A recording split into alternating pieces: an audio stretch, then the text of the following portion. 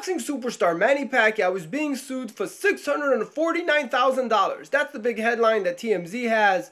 But I wouldn't get too excited. Let's relax for a second. It's common in Hollywood, it happens many times that companies sue celebrities for outrageous amounts of money only to get 5 or 10%. And this is probably going to be the case as well. This accounting firm from Westwood, Southern California, was hired by Team Pacquiao two years ago. I guess Team Pacquiao weren't happy with the work they were done, so they were replaced two years later. And now they're mad that I guess they were replaced and they want to get reimbursed. So they might get something, but I wouldn't say, oh man, he's going broke and all these headlines that you see all over online. Let's not get carried away. There's a company that's suing the name Manny Pacquiao. I don't think he even knows this company or have even dealt with them. It's more behind the scenes people with behind the scenes people. So there you have it. Yes, there's a company suing the name Manny Pacquiao, $649,000.